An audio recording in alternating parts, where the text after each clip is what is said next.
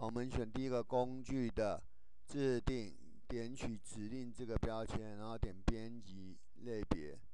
然后将条件钮移到最后一个，然后会看到选取可见储存格这个项目，按住滑鼠左键把它拖移啊，拖到我们的工具页上面就可以了啊。拖上来以后按关闭啊，按关闭，然后这时候点大纲模式的第二个啊，将。V 十到 B 五十三框起来，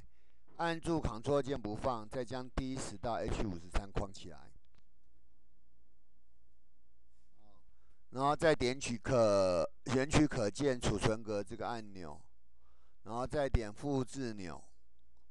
啊，然后再将滑鼠点班级排名工作表里面的 V 四储存格点一下，那么按再点贴上钮，就可以将。每个班级的成绩贴过来啊，贴过来。